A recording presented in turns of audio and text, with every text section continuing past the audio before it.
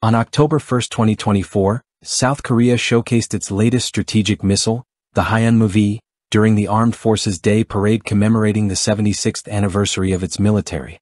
The event, held in downtown Seoul, featured around 5,000 troops and nearly 100 pieces of heavy military equipment, drawing tens of thousands of spectators and closing streets to accommodate the massive turnout.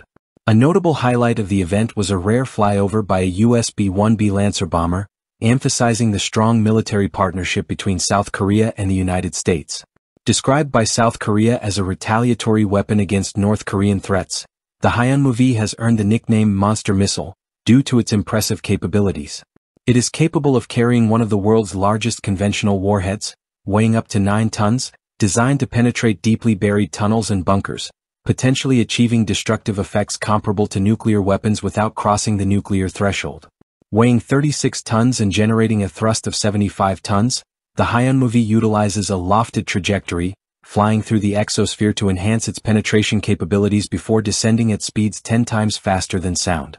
Yang Uk, a research fellow at the Asan Institute for Policy Studies in Seoul, noted that the missile's transporter erector launcher can move all 18 wheels at roughly a 45-degree angle, enabling it to navigate more effectively. The missile employs a cold launch system that uses compressed gas to propel it before ignition, minimizing damage to the launcher and enhancing operational stability due to its powerful solid propellant. Referred to as high-power missiles, HPM, by the South Korean military, both the Hyunmoo 4-1 and Hyunmoo-V are designed to penetrate deeply buried command centers by detonating above underground facilities, effectively burying them. While the exact maximum range of the Hyunmoo-V remains classified, experts speculate it could reach up to 3,000 kilometers or more, placing it within the intermediate range missile category. Its capabilities have drawn comparisons to the U.S. Minuteman III intercontinental ballistic missile in terms of warhead weight and thrust, although the Hyunmoo-V is believed to be a two-stage missile. Manufactured by Hanwha Aerospace, the Hyunmoo missiles are equipped with evasion systems to counter enemy air defenses. The South Korean Strategic Command plans to procure more than 200 Hyunmoo-V missiles alone. Alongside this new variant, the country is also developing new versions of the Hyunmoo 2, 3, and 4 missiles, which are described as extreme precision high-power missiles, or ultra-powerful ballistic missiles, moving away from conventional designations.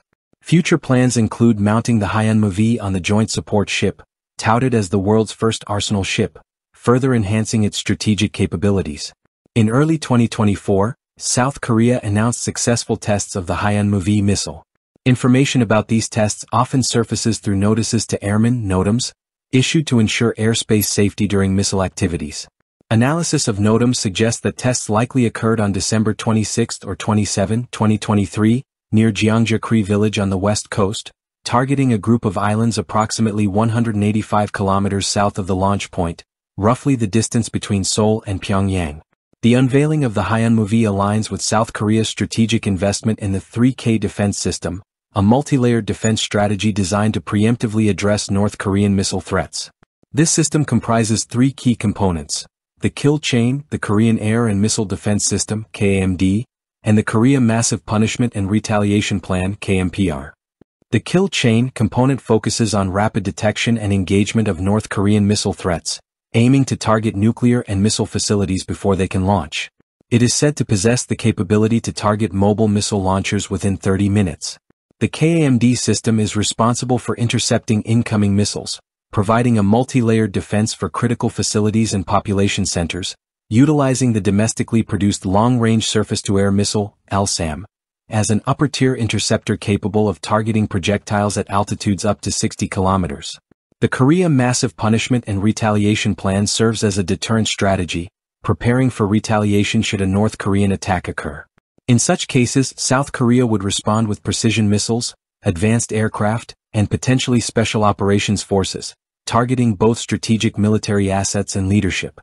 As the Hyunmoo-V missile joins the ranks of South Korea's advanced military capabilities, it reflects the nation's commitment to enhancing its defense posture amid rising tensions with North Korea. The missile's unveiling signifies a clear message of deterrence and preparedness, and as South Korea continues to develop its military assets, the regional security landscape will undoubtedly be influenced by these advancements.